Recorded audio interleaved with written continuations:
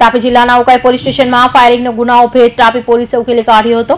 ફરિયાદીના પુત્રવધુના એકતરફી પ્રેમમાં પડેલા યુવકને ફાયરિંગ કરી હતી. પોલીસ આરોપીની પાસેથી પિસ્તોલ સાથે છરા અને ગોળીઓ કબજે કરી હતી. તાપી જિલ્લાના ઉકાઈ પોલીસ સ્ટેશનમાં ખૂનની કોશિશ કરી ફાયરિંગના ગુનામાં આક્રોશ તાપી પોલીસ દ્વારા આરોપીઓને પકડવામાં સફળતા મળી હતી. તાપી જિલ્લામાં એસઓજી અને એલસીબીની ટીમ દ્વારા અલગ અલગ ટીમો બનાવી આરોપીને ઝડપી પાડ્યો હતો. આરોપી પાસે એક દેશી બનાવટના મેગઝીન પિસ્તાલીસ રેમ્બો ચાકુ, રામપુરી ચાકુ પંચ વગેરે આરોપી પાસેથી મળી આવ્યા હતા. આરોપીઓના ગુનાહિત ઇતિહાસની તપાસ હાલ તાપી જિલ્લા પોલીસ કરી રહી છે. નોંધવું રહ્યું કે ફરિયાદીના પુત્ર વધુને એક તરફી પ્રેમમાં પાગલ થયેલા ફાયરિંગ કરનાર યુવક પાસેથી પોલીસને મોટી માત્રામાં હથિયારો પણ જપ્ત કર્યા છે. ઉકાઈ પોલીસ સ્ટેશનમાં આવેલા પાથરડા ગામે ત્રીસ એપ્રિલના રોજ બપોરના સમયે અ, પાથરડા ગામનું જે માછલી તળાવ ફળ્યું છે એમાં રહેતા સંગીતાબેનના ઘરની સામેથી રોડ પર બે અજાણ્યા ઈસમો બાઇક લઈને આવ્યા હતા અને તેમને આ ફરિયાદીને મારી નાખવાના ઈરાદે એમની પર ફાયરિંગ કરેલું હતું. આ બનાવની જાણ થતાં તાત્કાલિક પોલીસ ઘટના સ્થળે પહોંચી ગઈ હતી અને ઉકાઈ પોલીસ સ્ટેશનના પીએસઆઈ તેમજ અન્ય એલસીબી એસઓજીની ટીમોને પણ ત્યાં જગ્યા પર પહોંચી ગયેલી હતી.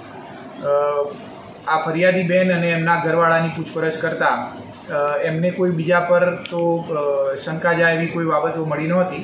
પરંતુ એમની પુત્રવધુની સાથે કોઈ ઈસમને એક તરફી પ્રેમ હોવાનું એમને પોતાની વાતમાં કબૂલ્યું હતું. અને આ બાબતે થઈ અને તે એમની પુત્રવધુના હસબન્ડ મતલબ કે ફરિયાદીબેનના દીકરા અને ફરિયાદીબેનના પતિ ઉપર બે દિવસ પહેલાં એક ધમકીભર્યો ફોન આવેલો હતો. કે એ તેમની જાનથી મારી નાખશે એ રીતે. આ તમામ હકીકતોને ધ્યાને રાખી અને તાપી પોલીસ તરફથી તપાસ કરવામાં આવી. તો એમાં આગળ જતાં એક રાકેશ નામના ઈસમનું નામ ખુલવા પામ્યું હતું કે જેને ઉપર આ લોકોને શંકા હતી. આ ઈસમની શોધખોળ કરતા તેઓ મૂળ નર્મદા જિલ્લાના હતા, પરંતુ તેમની હાજરી તે સમયે તાપી જિલ્લામાં ઉકાઈ પોલીસ સ્ટેશનની આજુબાજુ દેખાવામાં આવી હતી.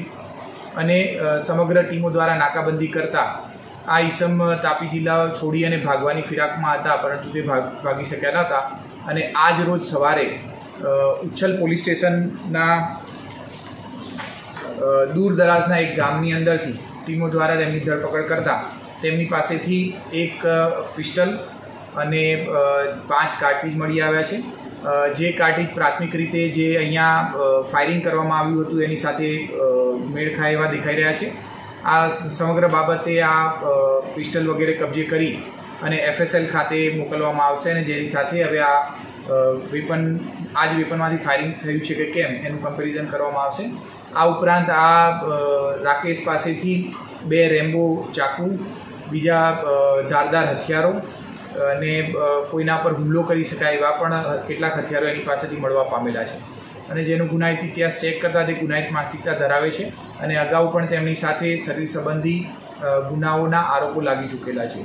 આજ રોજ ધરપકડ કરી અને એની વધુ પૂછપરછ ચાલુમાં છે અને આમને ખરેખર એની સાથે કેવી રીતે પ્લાનિંગ કર્યું, કે કોણ બીજા ત્યારે આ પ્રસંગે પ્રકરણમાં આરોપીઓનો ગુનાહિત ઇતિહાસ બહાર આવે એવી પૂરી શક્યતા વર્તાઈ રહી છે.